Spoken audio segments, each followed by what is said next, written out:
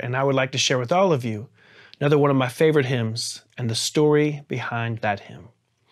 As most Christians know, the Bible is filled with teachings that emphasize the importance of living a life that is focused on eternity.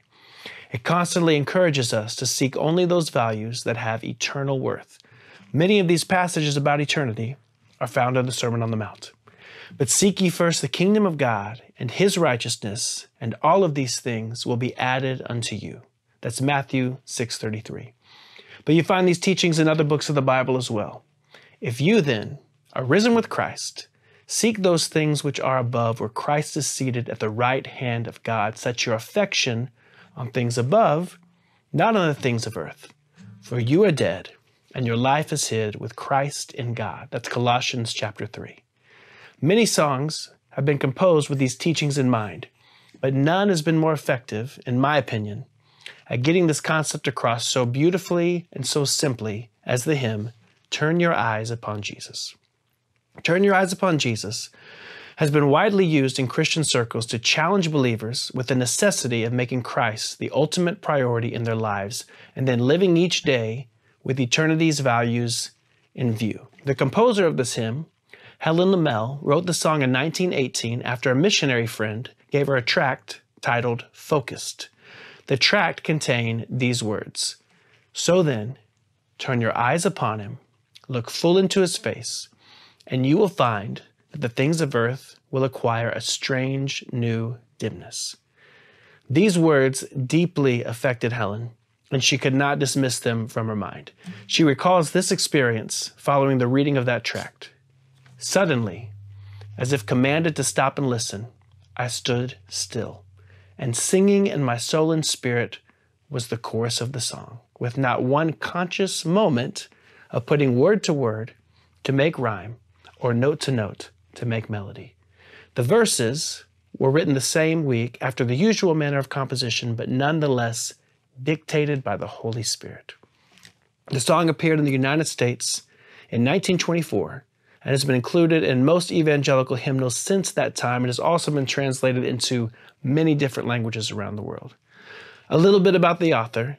Helen Lemmel was born in 1864 in England and came to the United States at the age of 12. She was the daughter of a Wesleyan Methodist pastor and briefly lived in Mississippi before settling in Wisconsin. She developed a reputation as a brilliant singer and traveled widely throughout the Midwest during the early 1900s, giving concerts in many churches. She later taught voice at the Moody Bible Institute.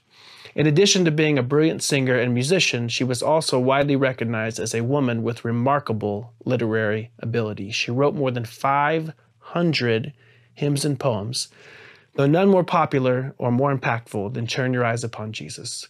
She remained active for God in her musical and literary pursuits until her death at the age of 97 years old. Now, recently, I have found this hymn to be extremely impactful in my own life. Uh, when I look at the world around us, I see chaos, division, injustice, and fear mongering. And the effect that it has on me is a feeling of helplessness. What can I do to change the world? What can any of us do to change it? But the truth is, we are not living for this world. The world and its desires pass away, but whoever does the will of God lives forever. Our lives are transient. We're here for a moment and then we are gone. But if we fix our eyes on Jesus, the author and perfecter of our faith, who for the joy that was set before him endured the cross, scorning its shame, and sat down at the right hand of the throne of God, then the things we accomplish for him and in his name will be eternal. Jesus himself told us to live this way.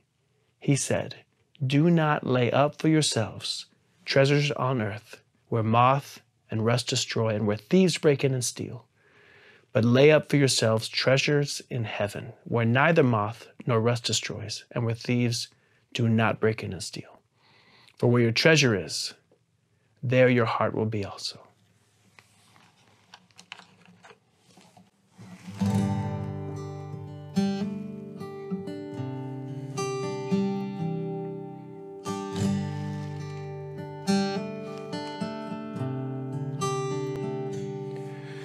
Oh, soul, are you weary and troubled? Light in the darkness you see. There's light for a look at the Savior and life more abundant and free. Turn your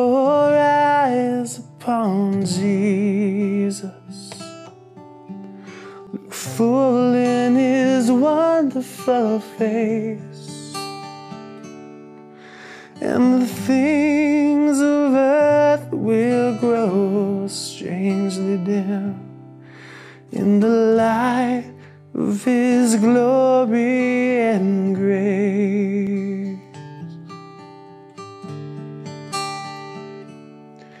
His word shall not fail you, we promised. Believe him and all will be well. Then go to a world that is dying.